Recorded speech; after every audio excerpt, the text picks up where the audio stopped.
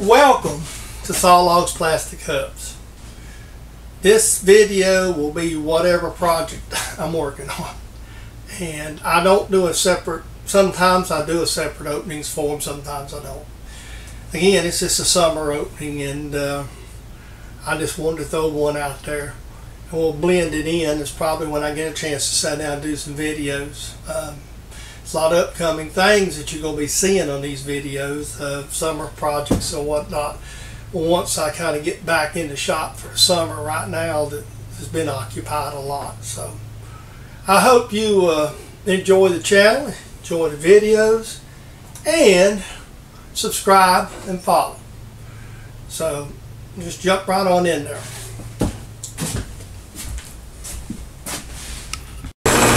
Good morning. Uh, this is a clip that's just going to probably go on a video. Uh, I'm not showing the process what I'm doing because I've already made a video of it, but what I wanted to show this morning is that sometimes you can be creative and not even think about it. Uh, this little piece of stainless that I'm cutting for one of those simple shop hammers need to be machined down to a certain length. So to do it, you got to saw it and the easiest way to saw it is in you know in the horizontal band saw so I do have an adjuster but the amount that I have to hold this part is so thin and I just since I'm to make aluminum handle I actually have another piece of one inch stock handy we're just to face this we're just to saw this off and I'm going to start to work on this this morning. And, uh, you know, I'm just going to throw a clip or two of this in with something else I'm going to be working on later. Uh, this is just going to be kind of, you know, I'm, you know, this sort of the run-of-the-mill things that I do. And what it is, one of my, another one of my ex-co-workers, when I made the other hammer that I videoed a while back, that he, uh, asked where his was I just hadn't said nothing about it so I'm gonna make this one up as surprise and mail it out maybe soon. So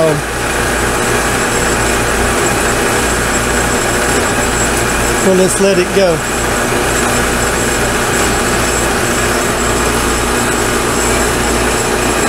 So there we go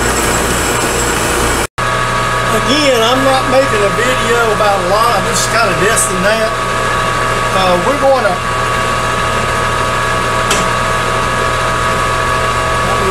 hold on minute. I'll bring you right back. I ain't quite set up. Right. we're going to these quarter twenties on the now I will tell you I'm not an expert threader and these are 20 pitch. I could theoretically go with any number, but I prefer just to pick one and go with it. And that's what we do. We're going to check the threads. Make sure we got a 20 pitch here.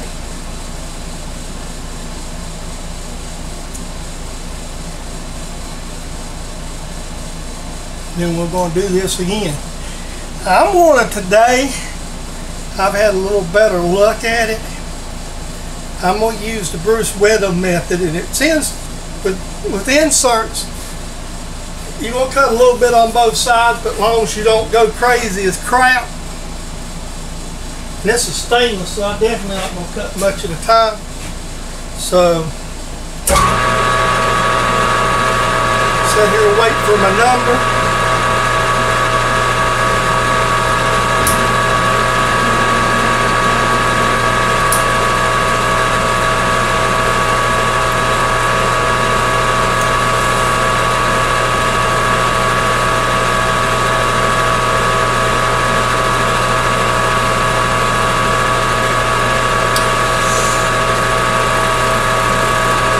and I'm just using one. I always prefer just to use one number and not switch it because that way I don't have to remember because I don't thread a lot. The reason I'm single pointing this here is stainless steel And I'm going to thread this for a hammer, so, I'm all just checking. I know I'm not nowhere near. I just want to make sure that that looks good. I got to go about a 60 thousandths or so. I'm going to bring you back after I get a little further down. Okay, I'm down close to the end passes of this threading now. And it always pays, even though when your camera doing it does make this a lot more difficult. So,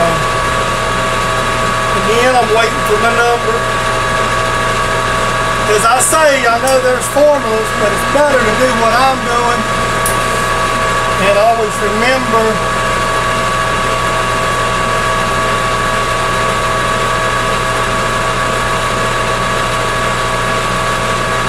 I'm thinking this, I'm going to go about one more pass when I get around. And the, the reason I just use it, like I say, I'm, uh, I, I don't thread often. The only reason I'm threading this is it's stainless and dies just don't work well with it.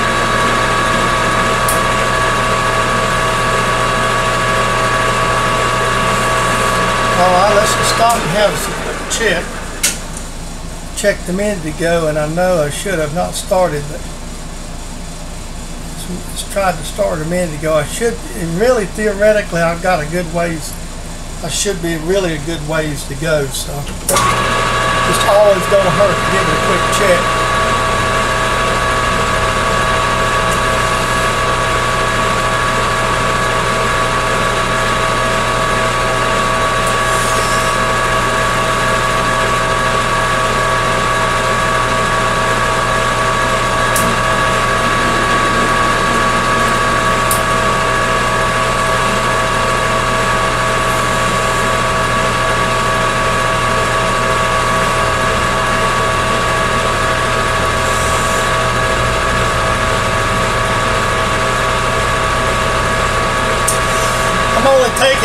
Taking two to four thousand. And one of the things I will say here while I'm doing this, I understand that a lot of the really, you know, people like Adam and lot, and I'm going to tell you this, and this is, might be wrong, right, or indifferent. Bruce Whittam over Australia does this, and several other people do, and it works fairly well for a reason. To set this back here. And the reason why, these are inserts, have the forms ground in them and and when you really get right down to it, if you thread, I have threaded on CNC lathe where it's programmed to do exactly these motions that we're doing today. But uh, but the thing about it is, I should be somewhere around 60,000, 65,000 actually uh, should be what we need. So. I'm, I'm really nowhere near that. I just keep checking because I don't really want this to be a fairly tight fit. So, with uh, all said done, the CNC lathe don't run in at no 30 degree angle. Now, I have done the compound and can do it, but I seem to have a better looking thread when I do what I'm doing here. So,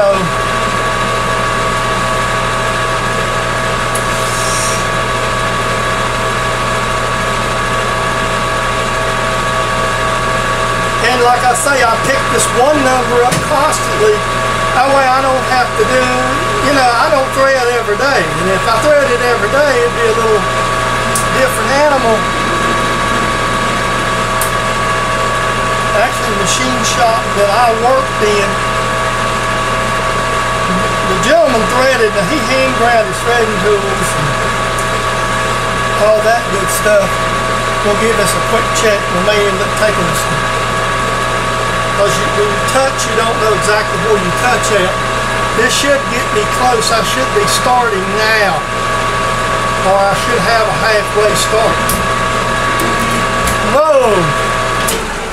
And that's the danger of what happens with this. You see right there? And that's what happened. And I don't know, I may have cut in too much relief or too big a relief and I'm not even threaded. So now I got to go back and start all over and cut a new rod. So that means all over start. I've got to find something. One problem I have is I really just don't have any grooving tools. So I went over in the box and I got a bunch of high-speed bits I picked up off eBay a long time ago just for emergencies. And I've ground up, took one of them, it was broke off, and done a quick grind on it, and I'm going to make me a relief tool. Kind of go in there and I'm going to make this relief sort of round. And I want that thing to be pretty close to the size, which would be, I'm shooting for about 180 thousandths or so OD in the bottom, give me a little relief.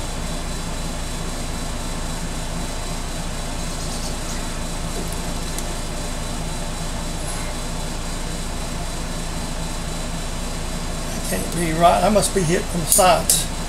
Come on. touch this and zero it and see what the dial says.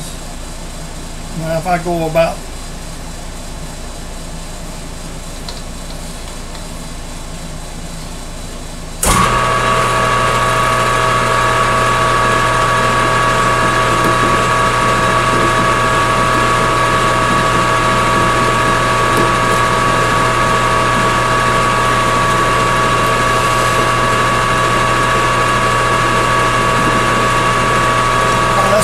try that for threading. Hopefully that won't make it too small and hopefully that'll be big enough. Hopefully that's small. What I did with the other one is that I tuck and cut it with a, I just use my cutoff tool, which I use three blades and that don't tend to work good. So I'm gonna restart this and I'll bring you back here in just a few minutes. All right, I'm thinking I'm down to about the about the last pass or two. Uh, I checked it and started. So I'm gonna, I'm gonna go just a hair more. And so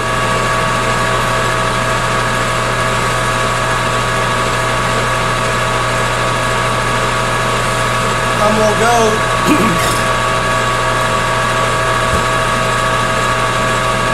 I'm going to check it after this one. I think it may be enough. It was starting. I just went a little bit. I'm going to run this past, then I'm going to spring it, then we're going to check it.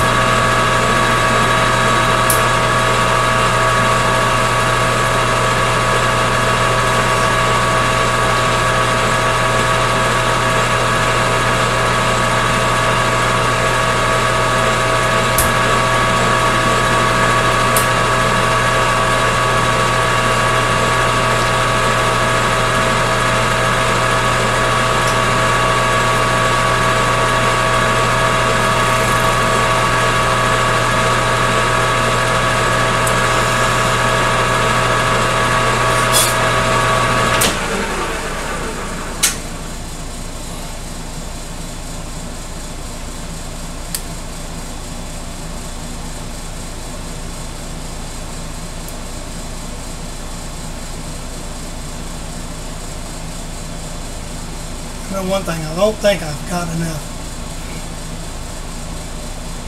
Alright, I'm really close right here. So if I haven't missed a number or something, I should be right able to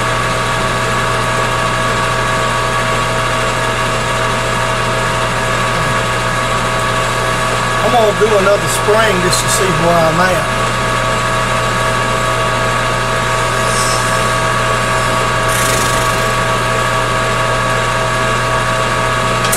You what, I'm just, I'm not, I wasn't happy with that. Sometimes you just lose your concentration. It's almost better just to go back. If you realize you've got a problem, you want to, you always want to double check. Too close and you can get confused. It's really confusing doing threading and running camera.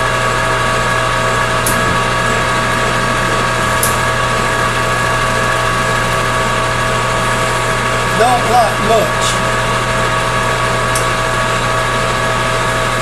So I'm going to go back to the same point and spring it real good. We'll try it again. I think that should get us right up on there. Then I got to thread the other side, which I'm not going to bore you with that.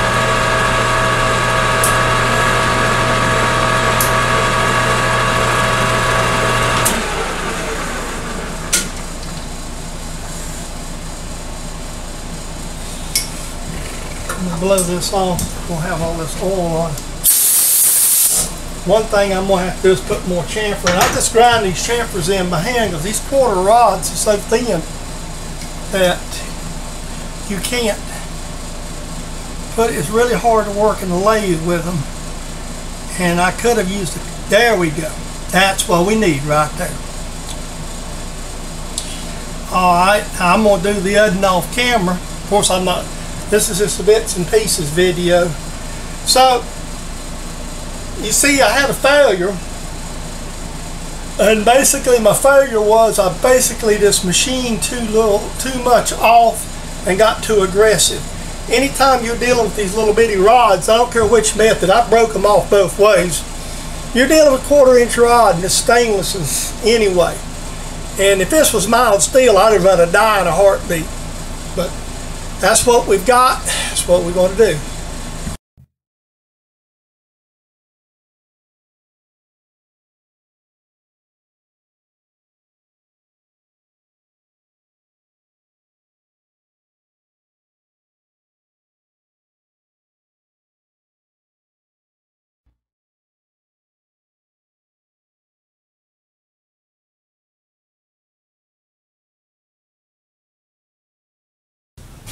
I hope you enjoyed today's video. Uh, whatever we've done today, because usually I shoot a close and, and put together a montage at the end. So this is usually my way of saying thank you. Now, if I haven't said it enough, I will say it. Every subscriber I've got, I appreciate. Appreciate every view I get. Now, do we have the big channel? No. Do we want to have a big channel? Well, I'd be stupid saying I wouldn't be a little jealous if I didn't, but my mode of making these videos isn't to get rich. It is to have fun. So those along come along enjoy the videos and have fun with me, I appreciate it. But please do share it with your friends if, if they're not subscribers. And, you know, bring them over here and let us look at another somebody else is doing this. You know, I'm a career machinist, but and I've always liked to make things. So when I'm retired, now I really have more plenty of time. Right now, you know, we've been kind of busy with some house projects and stuff, so that's slowed us up here for the last several months. But I hope you enjoy the videos and hope you enjoyed today's video. Again, please subscribe Please tell your friends. And if you are a subscriber, thank you so very much. Have a great day, and we will see you in the next video when I make another one.